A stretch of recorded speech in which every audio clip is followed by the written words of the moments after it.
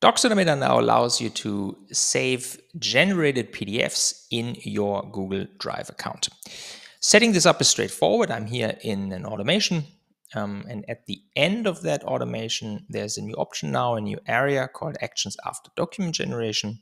And here we have a Save PDF in Google Drive option. I toggle this on, which allows me to pick a Google Drive folder.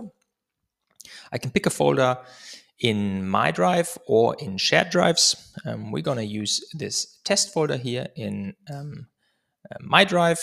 Um, takes a second, then we will also see that being selected here. Um, I can open this from here um, and we see that um, there are no uh, documents, no PDFs in here at the moment.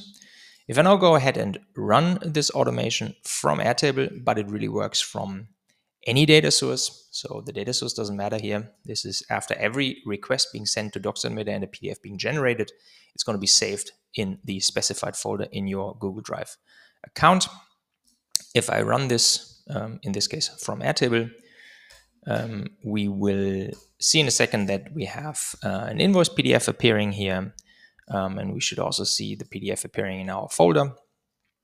Mm, I think I had Google the Google Doc URL, yeah, Google saving the Google Doc enabled as well. So we see that appearing here as well.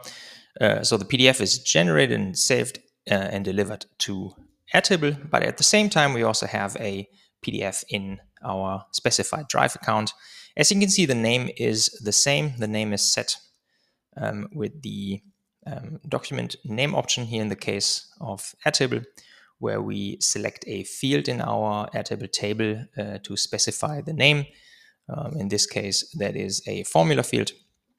Um, if you are coming from other data sources like Glide, for instance, there it's a bit different. There you set the document name straight in Glide, but it doesn't really matter. In the end, the document name, no matter how you set it, is going to be maintained in the generated PDFs being stored in your Google Drive account as well.